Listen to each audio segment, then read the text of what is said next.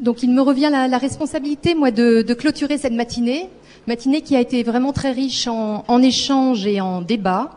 Euh, donc merci à l'ensemble des intervenants aux tables rondes, aussi aux animateurs, et puis à, vous tous, parce qu'il y a une participation, je pense, active euh, de l'ensemble des, des, participants. Donc je pense qu'on a confirmé un certain nombre de choses ce matin, validé un certain nombre d'éléments, à savoir que l'alternance, c'est bien un engagement entre trois acteurs, ça, ça a été beaucoup dit, l'alternant, l'entreprise et l'organisme de formation. Et on verra qu'il y a sans doute des, axes encore de, de, progrès forcément, de communication, peut-être entre justement euh, l'entreprise et puis l'organisme de formation dans l'accompagnement auprès des, alternants.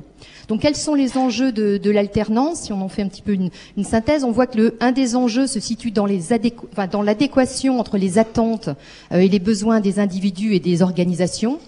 Euh, on a parlé dans l'autre table, ronde euh, des décalages parfois entre les besoins de certaines filières, secteurs d'activité et puis euh, justement des, des, des, des envies des, candidats. Donc il y a certaines filières où il y a énormément de formation euh, en place où il n'y a pas forcément de débouchés. Il a à l'inverse des filières qui sont encore peu connues. Donc là, je pense qu'il y a un vrai travail justement à faire ensemble de réflexion euh, pour bien définir euh, et avoir une bonne connaissance des besoins des territoires et des entreprises. Et ce qui a été dit d'ailleurs, c'est que ces besoins évoluaient. Donc là aussi, il faut être vraiment très très proche euh, des besoins. Et on a nous aussi le CNAM peut-être à se remettre cause, à réfléchir avec avec vous sur ces, formations. Mais il existe aussi des enjeux de gestion au travers du recrutement il en été question, hein, la définition des missions aussi qui doit être bien, euh, bien faite et bien en amont, de l'intégration des alternants, du tutorat, euh, gestion du tutorat, professionnalisation des tuteurs. Et on va nous travailler justement euh, dessus et proposer des formations de tuteurs. Et puis euh, sur l'évolution de carrière, donc des alternants. Mais des enjeux aussi comportementaux, euh, si on se place sous l'angle des ressources humaines, socialisation des alternants, l'implication, leur fidélisation.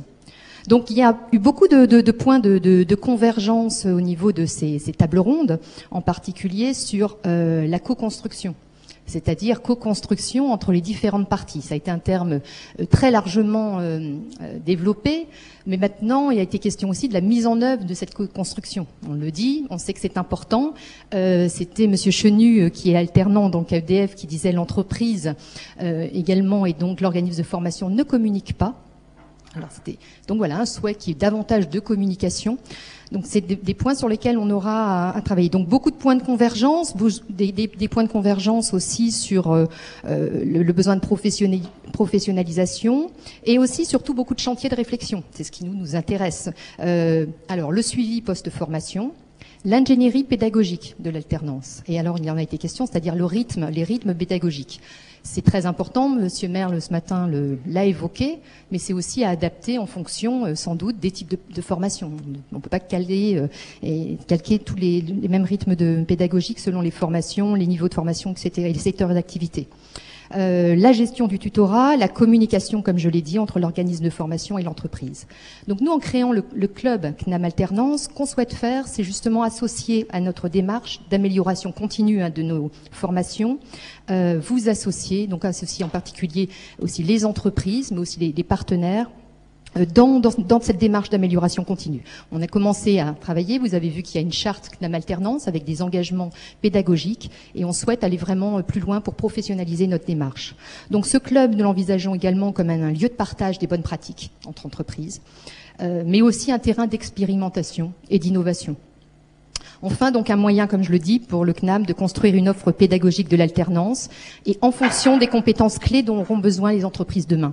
Ça, c'est aussi important, c'est-à-dire que construire notre offre de formation en fonction des compétences clés du, territoire et ne pas effectivement euh, en fonction des demandes, puisqu'on a des équipes effectivement de conseillers formation et on, pourrait tenter de remplir euh, aussi des cursus de formation. Donc, euh, les, les, ce qui est important, c'est, on a aussi évoqué dans une des tables rondes, voilà, c'est ça, l'adéquation entre l'offre de formation et les besoins des territoires, et c'est ce, ce, point qui est très important. Donc, quelles sont les prochaines étapes du club? Euh, La première, c'est d'y adhérer, euh, tout simplement. Donc, il y a, euh, ce club est, est, ouvert avant tout aux entreprises, sachant qu'on y associera des partenaires, les OPCA, euh, et puis les branches professionnelles, mais qui viendront plutôt en appui ou en intervention dans nos rencontres. C'est-à-dire que c'était vraiment un club tournée vers les entreprises, que ce soit leurs dirigeants, que ce soit des collaborateurs, les tuteurs. il y a une fiche qui vous a été remise en début de matinée pour sonder vos attentes. recueillir votre intérêt pour, pour ce club. Donc vous pouvez voilà, la remettre à tout collaborateur CNAM, au conseiller formation entreprise. Et c'est important pour nous de recueillir vos attentes sur euh, à la fois euh, la périodicité, les formats, les niveaux de rencontres que vous pouvez euh, souhaiter et, attendre. Donc la seconde étape, c'est le site internet dédié CNAM Alternance qui va être opérationnel à la fin du mois. Donc celui-ci va permettre aux entreprises et aux tuteurs d'accéder à des informations pratiques, mais aussi à des conseils pour mener à bien leur mission. il sera aussi un espace d'échange entre les, membres du club alternance. Il y aura aussi, bien entendu, pour les, pour les candidats alternants, un espace. Et c'est important parce que vous retrouverez par exemple les vidéos de la conférence de Vincent Merle de ce matin et des tables rondes, par exemple, sur ce site. Donc vous pourrez aussi euh, avoir accès à, des vidéos, à des conférences, puisque le club est donc euh, animé de manière départementale. Euh, et ça, c'est très important.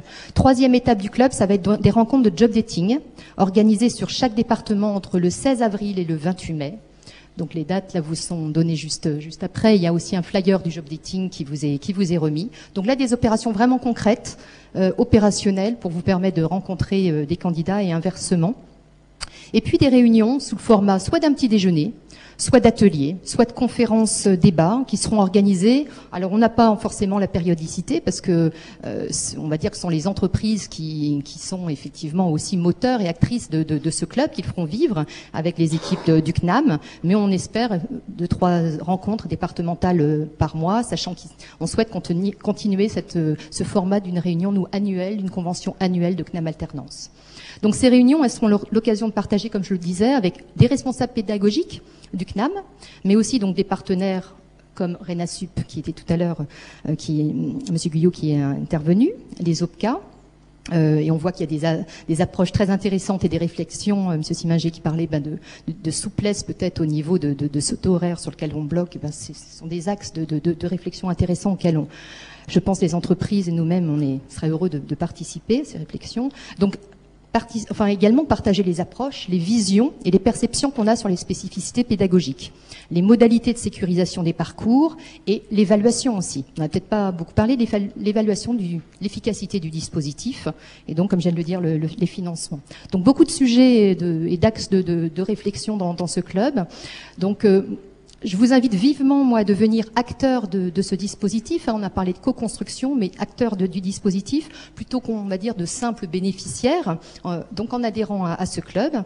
Et euh, c'est vrai que la co-construction, donc condition réussite d'une formation en, alternance. Donc euh, voilà. Donc je vous propose, moi, sans plus tarder, euh, puisque vous avez été attentif depuis, de ce, depuis ce matin, de, de, continuer ces échanges euh, autour du buffet déjeunatoire qui a lieu au rez-de-chaussée, là, l'espace central euh, du CNAM. Euh, et puis à votre disposition pour continuer à répondre à vos questions. Merci beaucoup à tous.